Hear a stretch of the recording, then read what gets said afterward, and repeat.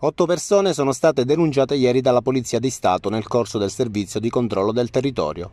Un sorvegliato speciale è stato denunciato dagli agenti per violazione delle prescrizioni inerenti alla misura di prevenzione cui si trova attualmente sottoposto. Un arrestato domiciliare è stato denunciato per evasione poiché al controllo non è stato trovato in casa. Due persone sono state denunciate per porto di armi ad oggetti atti ad offendere. Il conducente di un'auto risultato positivo al drug test è stato denunciato per guida sotto l'influenza di sostanze stupefacenti, un denunciato per atti persecutori, uno per maltrattamenti in famiglia e l'ultimo per furto in appartamento.